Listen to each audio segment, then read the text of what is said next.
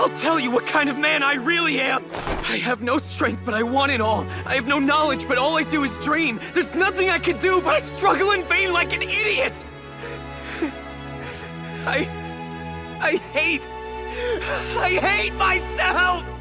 All I do is talk a big game and make myself sound like a big shot when I can't do anything! I never do anything, yet I complain with the best of them like it's my job or something! Who the hell do I think I am? I'm a fraud! It's amazing that I can live like this and not feel ashamed! You know I'm right! I'm an empty shell!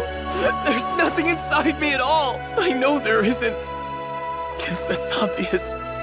Anybody could see that.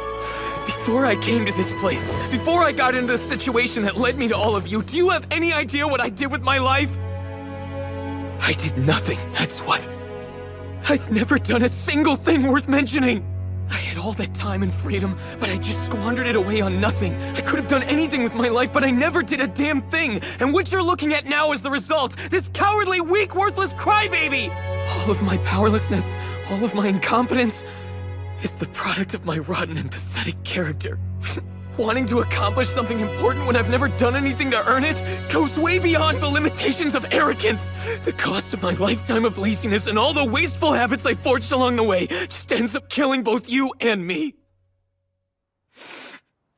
That's right. I have no character. Even when I thought I could go on living here, nothing changed about who I really am. The old man back at the manor saw that part of me perfectly didn't he? I wasn't trying to get stronger, or trying to make things better. That was a lie. I was just striking an obvious pose to justify myself, to say that I was trying my best, that it wasn't like I wasn't doing anything, to be able to appear to be doing everything I could.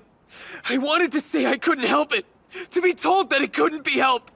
I was only pretending to push my body to the limit so that all of those excuses would be possible. Even when I had you help me study, I was just posing to cover up how embarrassed I felt to be such an incompetent idiot!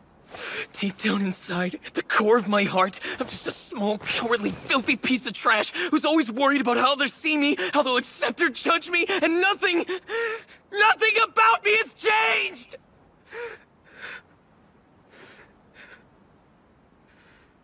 I've known it since the very beginning. Everything that was happening was my fault. I'm the lowest of the low.